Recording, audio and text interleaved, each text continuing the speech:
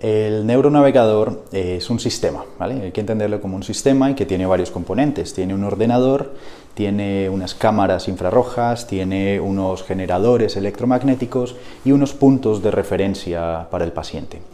Esto lo que permite es tomar las imágenes, bien sea de resonancia o de TAC del paciente, y hacer una reconstrucción tridimensional del mismo.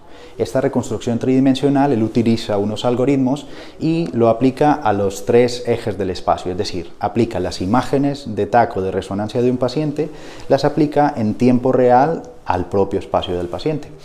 Esto nos permite a nosotros localizar de forma muy exacta y muy precisa Cualquier lesión, cualquier lesión o cualquier estructura neurológica nos la permite localizar de forma exacta y esto, por lo tanto, aporta muchísima seguridad al paciente. Al ser una guía, en realidad cualquier patología, bien sea craneal o espinal, pues puede verse beneficiada del uso de la neuronavegación.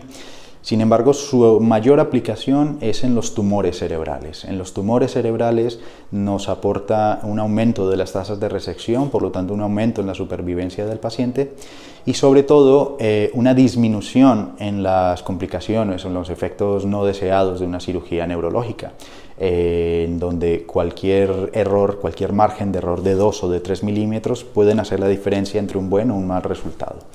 Eh, igualmente, en la estimulación cerebral profunda, el uso de la neuronavegación es clave, donde tenemos que estar manipulando estructuras muy profundas del cerebro y donde la precisión tiene que ser milimétrica.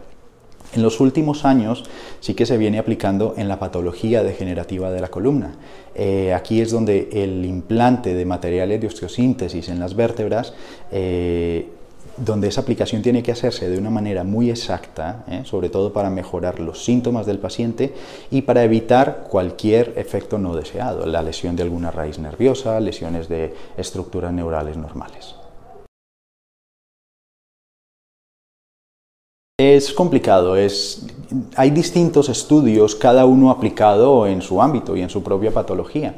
Eh, pero lo que sí se ha visto es que en aquellos centros donde se hace una utilización eh, continua de la neuronavegación y sobre todo en patología tumoral, eh, la supervivencia de los pacientes es mucho mayor, las tasas de resección tumoral son muchísimo más altas y el porcentaje de complicaciones o de efectos neurológicos no deseados pues es muy bajo.